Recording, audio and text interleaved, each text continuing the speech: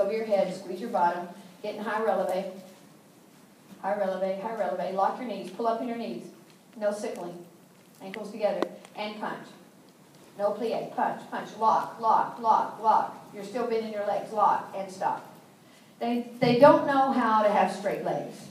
So here's what I have to do. Take the bands off your legs only. The first thing I have to do for anyone that's been in the compulsory environment where you lunged a lot, okay, or any, spread out on the floor. You're going to kick up, two of you can be on the mat. Yeah, anywhere. And kick up to a handstand and pike down. Just pike, slowly, not a snap, pike. Lock your legs, lock your legs, lock your legs, and do it again. Now, most of the time it takes about eight times before they quit buckling their knees and go because, good, Nicole, nice. And so you take any of your kids, it doesn't matter, you have them kick up the handstand and pike down, they will start to bend their legs because our trunk is inactive and we're not used to doing anything but lunge. One more time, girls, kick up and pike down. Totally straight legs. Okay, now put your band back on. So it, there has to be, and then we